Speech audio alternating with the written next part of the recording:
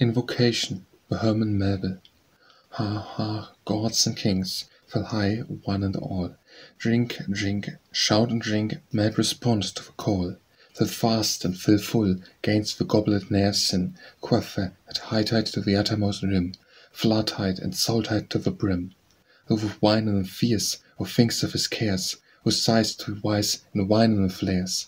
Water sinks down below and currents foot slow, And wine mounts on high with its genuine glow, Welling up till the brain overflow. As the spheres of a royal some fiery of soul, of Others golden with music walled round the pole, So that our cups, radiant with many hued wines, Round and round in groups circle our zodiac signs, Round reeling and ringing their chimes.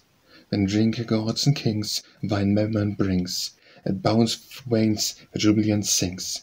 Let it ebb then and flow, wine never grows dim, Drain down the bright tide at the foam bitted rim, Fill up every cup to the brim.